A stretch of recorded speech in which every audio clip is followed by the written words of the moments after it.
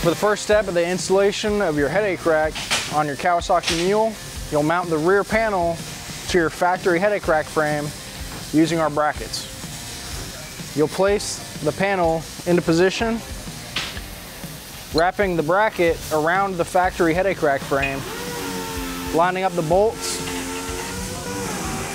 inserting your bolt through the hole before capping it off with a lock nut. When you're installing your rear panel, you want to line up the panel with your frame on the back of your mule so you can line up all the bolt holes which will help us locate our winch mount.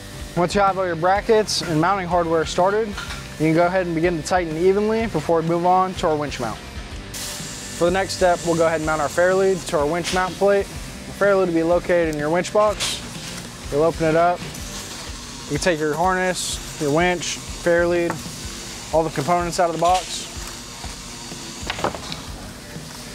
We'll go ahead and mount our fairlead directly to our winch mount. You'll use the hardware provided in the winch box to mount your fairlead to your winch mount plate. Once you have your fairlead installed, we can move on to mounting your winch mount to your OEM headache rack on your Kawasaki Mule.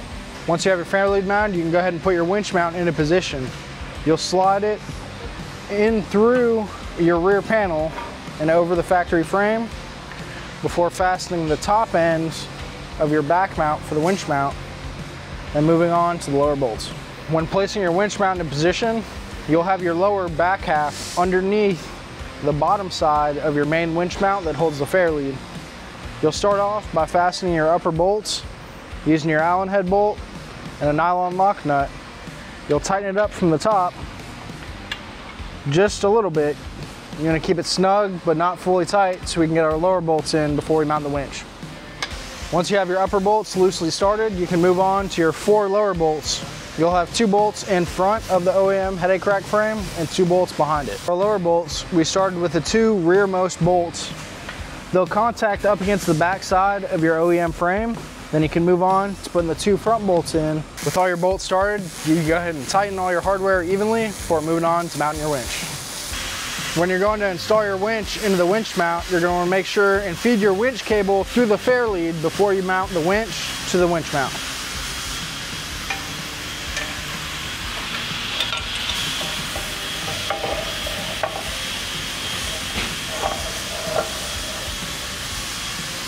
We'll use our M6 hardware with a lock washer to fasten the winch to the winch mount. Once you have all four of your winch mounting bolts started, you can go ahead and tighten them all up evenly with a 10 millimeter socket. Once you have your winch tight, you can go ahead and lock the spool on your winch and fasten the winch stop to the winch cable using the hardware provided in your winch box. When you're fastening your winch mount to the winch cable, you want to be sure not to over tighten it. You just have to snug the bolts up and that's all you'll need. Once you have your winch stop all tightened up, you can move on to mounting your winch hook. You'll simply slide the clevis through the winch hook, through the cable, use your cotter pin to lock the clevis pin in place, spreading the cotter pin out so that it can't back out. For the headache rack on our Kawasaki Mule, we designed some bed limiting brackets that'll stop the weight of the winch from pulling on the OEM strut. It'll limit the bed travel by a couple degrees to save your strut when you're winching in the bed up position. You'll use needle nose pliers to remove the cotter pin that holds the clevis pin that fastens the bed to the bed frame on the vehicle. With your cotter pin removed, you can go ahead and slide the clevis pin out of position in preparation for the installation of our brackets. When you're installing your bracket, you'll have the flat face of the bracket facing the front of the vehicle and slide it up into position.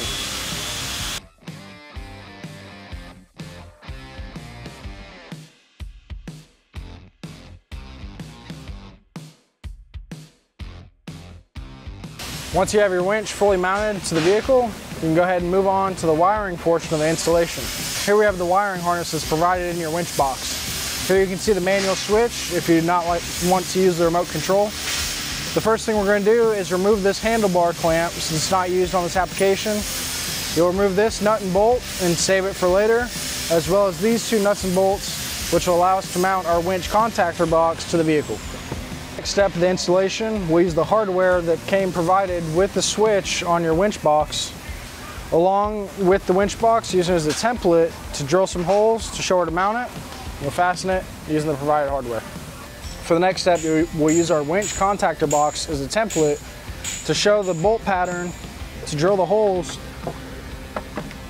as for a location of where to mount the winch contactor box.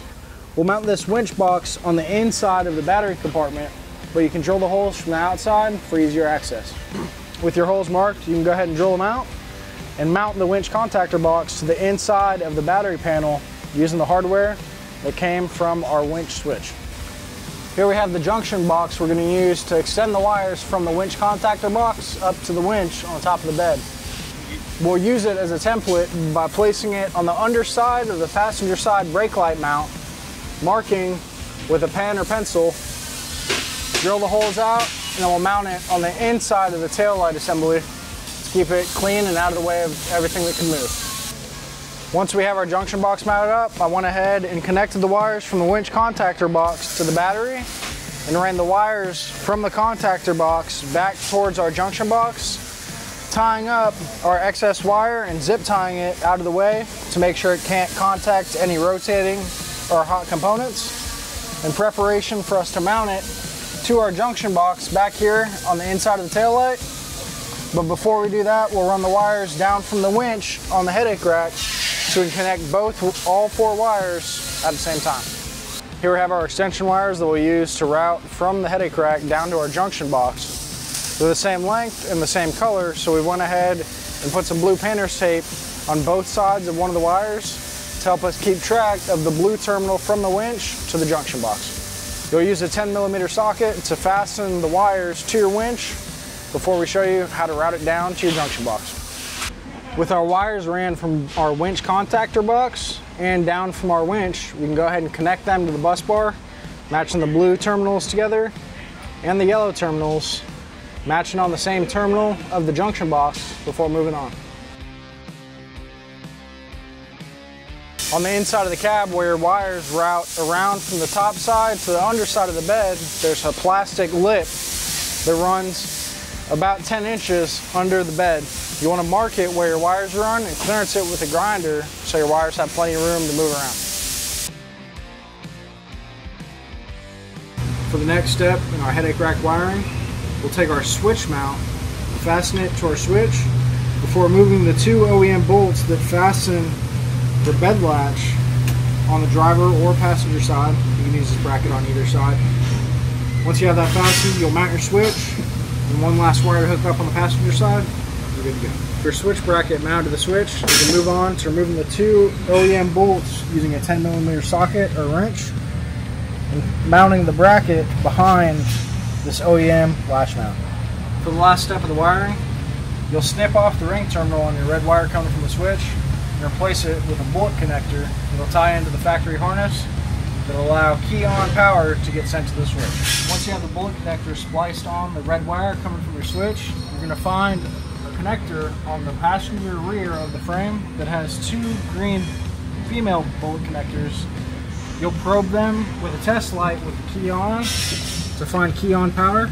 Over the terminal located that has key on power, you can go ahead and connect your red wire, button everything else back up, you're ready the trails. So for an overview of the wiring on our headache rack for a Kawasaki Mule, the first step you want to do is you'll mount your winch contactor box on the inside of the battery panel, and you'll run the battery wires from coming from the contactor box, mount them to the battery terminals before running the winch wires from your winch contactor box back towards the passenger rear brake light, which is where we mounted our junction box.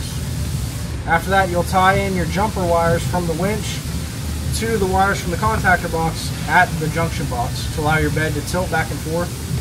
Before running the wiring harness for your switch down the passenger side frame rail, zip tying it to the O2 sensor harness before coming in to the rear driver's side panel where we mount our switch and after that, you'll just want to make sure you zip tie everything up, keep it away from any hot or rotating components, and you're ready to go. So before you use your headache rack on your Kawasaki Mule, there's a few safety features we want to go over and discuss, just so you don't get yourself hurt or get into a bind. Because the bed is adjustable on your Mule, with the seats folded forward and your bed in the extended position, we do not recommend using the headache rack with the bed tilted back.